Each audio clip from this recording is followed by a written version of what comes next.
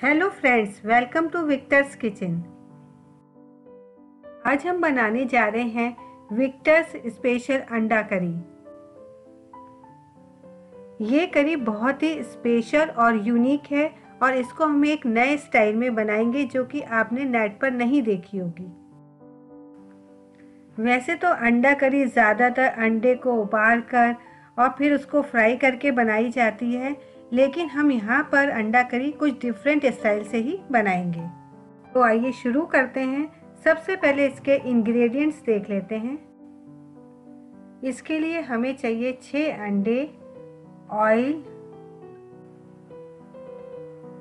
बारीक कटा हुआ टमाटर, बारीक कटा हुआ हरा धनिया, बारीक कटी हुई प्याज और ग्रेवी के लिए हमें चाहिए दो मीडियम साइज़ की प्याज, दो कली लहसुन, एक इंच करीब अदरक, दो टमाटर की प्यूरी,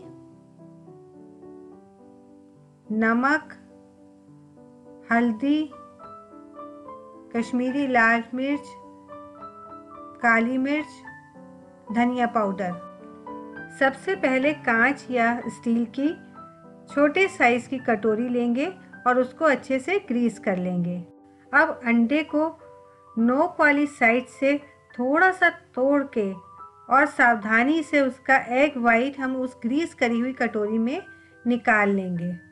बाकी बचे हुए योग पोर्शन को अभी हम साइड में रख देंगे। अब एग वाइट में थोड़ा थोड़ा प्याज, हरा धनिया और कटा हुआ टमाटर डाल देंगे। अब इसमें हल्का सा नमक और काली मिर्च डाल देते हैं। अब इसको अच्छे से मिक्स कर लेते हैं।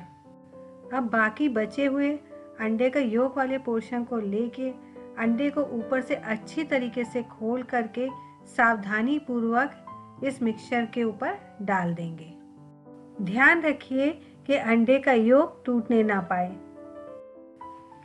अब इसी तरह हम सारे अंडों को कटोरी में तैयार कर लेते हैं।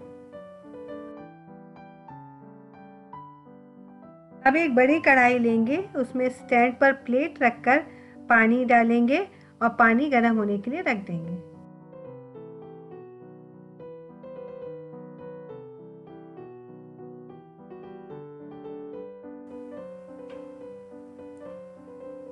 हमने अंडे की सारी कटोरियाँ तैयार कर ली हैं।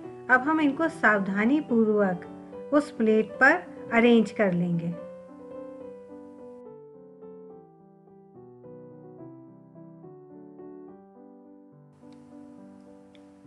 अब हम कढ़ाई में पानी की मात्रा को बढ़ा देंगे।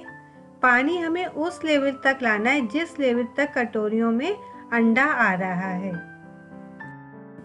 अब हम कढ़ाई के ढक्कन को कपड़े से कवर कर लेंगे।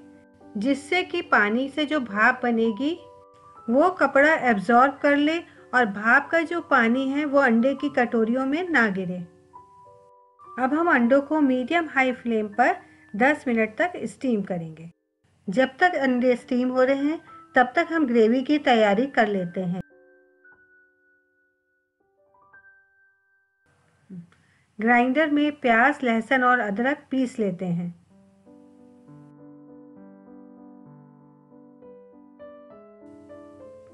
अब पैन को गरम करके उसमें दो टेबल स्पून ऑयल डाल देते हैं।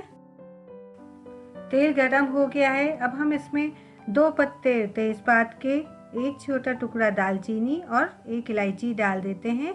ये ऑप्शनल है, आप डालना चाहें डालें वरना स्किप भी कर सकते हैं। अब हम इसमें पिसी हुई प्याज डालते हैं और इसे भूनते हैं। प्याज जब तक भून रही है, तब तक अंडों को चेक कर लेते हैं। देखिए अंडे अच्छी तरह स्टीम हो गए हैं और देखने में भी बहुत ही बढ़िया लग रहे हैं। अब हम गैस को बंद कर देते हैं और थोड़ी देर के लिए अंडों को दोबारा से ढककर ऐसे ही छोड़ देते हैं। 10 मिनट हो गए हैं, अब हम अंडे की कटोरियों को निकाल लेते हैं और ठंडा होने रख देते हैं। ये देखिए विक्टर्स स्पेशल अंडा करी के लिए अंडे तैयार हो गए हैं। ये देखने में जितने सुंदर लग रहे हैं खाने में, उतने ही स्वादिष्ट भी होंगे। अब ग्रेवी के लिए प्याज भून गई है और इसमें मसाले डाल लेते हैं। सबसे पहले हम डालेंगे आधा चम्मच हल्दी, एक चम्मच धनिया पाउडर, आधा चम्मच कश्मीरी लाल मिर्च। थोड़ा सा पानी डालकर भून लेते हैं।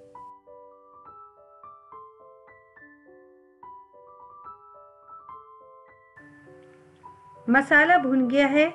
अब इसमें टोमेटो प्यूरी डालकर भून लेते हैं।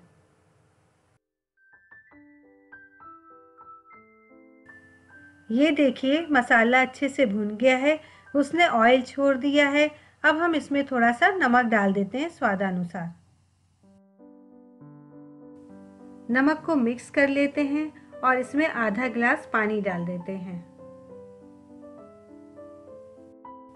अब पैन को ढककर ग्रेवी को 8 से 10 मिनट तक मीडियम फ्लेम पर पकाएँगे। अब अंडे भी ठंडे हो गए हैं। अब चाकू की सहायता से उन्हें कटोरी से हम इस तरीके से बाहर निकाल लेंगे।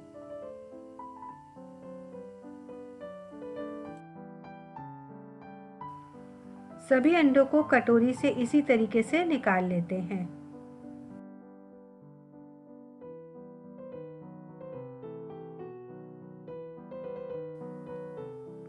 अंडा करी के लिए ग्रेवी तैयार हो गई है। अब इसको डिश में निकाल लेते हैं। देखिए, ग्रेवी का कलर कितना ही बढ़िया आया है। अब इसमें अंडे एक एक करके सजा लेते हैं। हमें सर्व करते हुए ये ध्यान रखना है कि अंडे ग्रेवी में डूबे नहीं। हरे धनिया से गार्निश कर लेते हैं।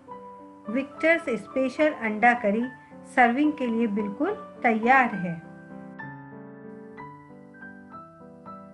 ये अंडा करी बहुत ही स्वादिष्ट बनी है, क्योंकि इसमें अंडे का जो वाइट पोर्शन है, उसमें प्याज, टमाटर, हरा धनिया और मसाले मिले हुए हैं, जो कि इसको बहुत ही टेस्टी बनाते हैं। इसीलिए ये विक्टर्स स्पेशल अंडा करी है। जो कि बाकी ट्रेडिशनल एग करी से डिफरेंट है। इसको हम पराठे, नान या रोटी के साथ सर्व कर सकते हैं। फ्रेंड्स अगर आपको मेरी ये स्पेशल रेसिपी पसंद आई हो तो आप मेरे वीडियो को लाइक और शेयर करें। मेरे चैनल विक्टर्स किचन को सब्सक्राइब करें और बेल आइकन दबाना ना भूलें।